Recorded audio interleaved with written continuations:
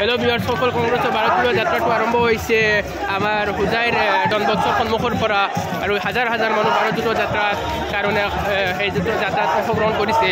আৰু আপোনালোকে নিশ্চয় দেখা পাইছে যে ভাৰতীয় যাত্ৰাত প্ৰদেশ কংগ্ৰেছৰ সন্মানীয় সভাপতি ভূপেন বৰা ডাঙৰীয়া ৰকিবুল হুছেইন ডাঙৰীয়া নগাঁৱৰ সাংসদ প্ৰদীপ বৰদলৈ ডাঙৰীয়া বিৰোধী দলৰ উপদলপতি দেৱব্ৰত শইকীয়াকে ধৰি ৰাণা গোস্বামী ডাঙৰীয়া আদি সকলো উপস্থিত হৈছে জ্যেষ্ঠ কংগ্ৰেছ নেতাসকল।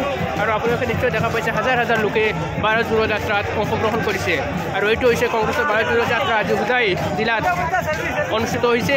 আৰু এই ভাৰত জোড়ো যাত্ৰাত হাজাৰ হাজাৰ কংগ্ৰেছ প্ৰেমীসকল এই ভাৰত জোড়ো যাত্ৰাত অংশগ্ৰহণ কৰিছে। আৰু ভাৰত জোড়ো যাত্ৰাত মই নিশ্চয় চাইদুল সেনো অংশগ্ৰহণ কৰিছোঁ। এই ভাৰত জোড়ো যাত্ৰাটো ইয়াতে হাজাৰ হাজাৰ লোকৰ হাজাৰ হাজাৰ লোক একত্ৰিত ভাৰত জোড়ো যাত্ৰা চলি আছে বৰ্তমান আমি আহি পাইছোঁ হোজাই টাউন নিশ্চয় পাই গৈছোঁ আৰু আপোনালোকে নিশ্চয় দেখি থাকক ভাৰত জোড়ো যাত্ৰা